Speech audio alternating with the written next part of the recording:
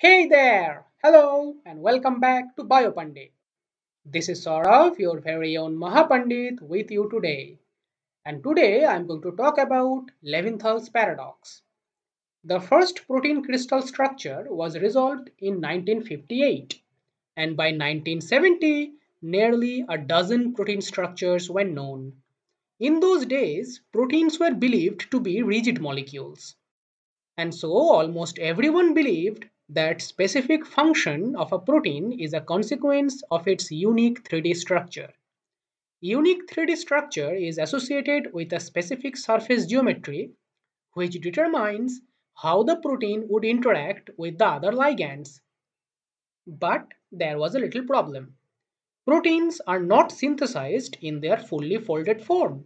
They are synthesized as unstructured polypeptide chains.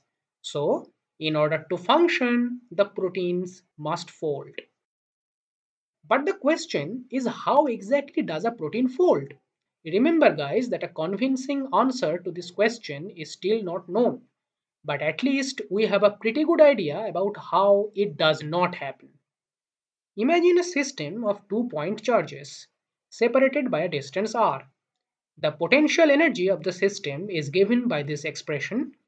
Now, if the two charges are opposite, the potential energy is negative, means there is an attractive potential.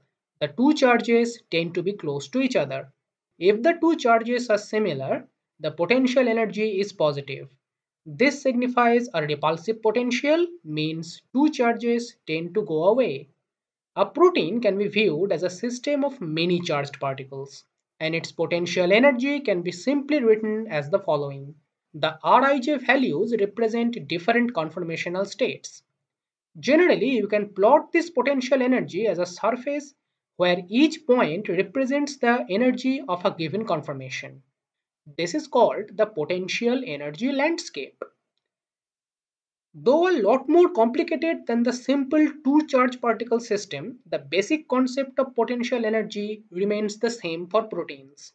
Negative potential or potential energy downhills represent energetically unfavorable conformations, whereas positive potential or potential energy uphills represent energetically unfavorable conformations.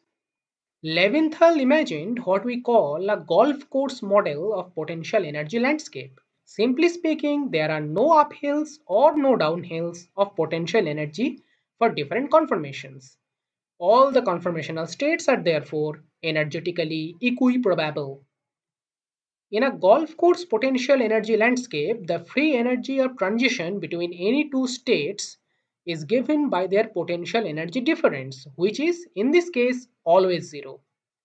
If there is no loss or gain of free energy for transition between any two states, a search to find the native structure would be completely random. In a random search, the time to reach the native state is given by the total number of probable conformations divided by the time required to check one conformation. This time can be insanely large. For example, there are as many as 10 to the power 70 probable conformations for a 100 residue long polypeptide chain. Even if the polypeptide chain searches through the individual conformations as fast as 10 to the power minus 11 seconds, it will take 10 to the power 52 years to find the native conformation. How long is this time? Well, not much. It's only several billion times longer than the age of our universe. So, does this mean proteins cannot fold at all? No, of course, proteins do fold in cellular environment as well as in our experimental test tubes. So, Levinthal paradox leads us to two conclusions. First, a golf course potential energy landscape does not apply to a protein.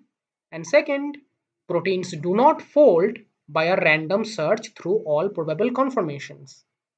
It did not take much time to realize that a protein can escape Levinthal's paradox just if the potential energy landscape is like a funnel. In this model, the native structure is energetically the most stable structure. A guided search for native conformation is inherent to the designing principles of biological proteins in a way that non-native contacts are destabilizing in nature whereas native-like contacts are stabilizing. So the basic thermodynamic principle to obtain a stable structure continuously drives the polypeptide chain to adapt the native structure.